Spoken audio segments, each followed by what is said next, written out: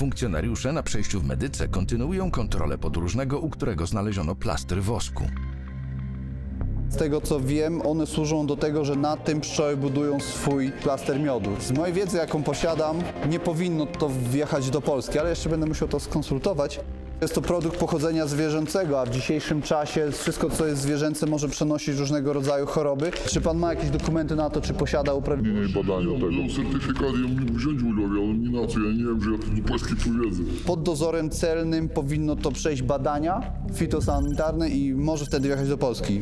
Zdaje mi się, że, że część osób już miała styczność z tym towarem, więc skonsultuję się po prostu i będziemy tą rzecz wyjaśnić razem z nim.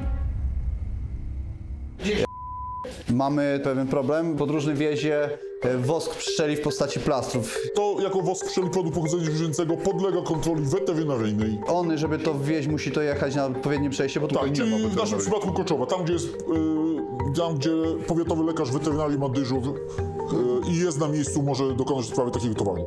Okej, czyli co? Do kierownika zmiany informujemy go, Tak. że taki to jest, podjechał. I powiadomienie do powiatowego lekarza weterynarii. E, Kazimierz z tej strony. Mamy tutaj na kanale e, towar w postaci wosku pszczelego i tutaj zgodnie z procedurami trzeba poinformować powiatowego lekarza weterynarii, żeby podjął decyzję.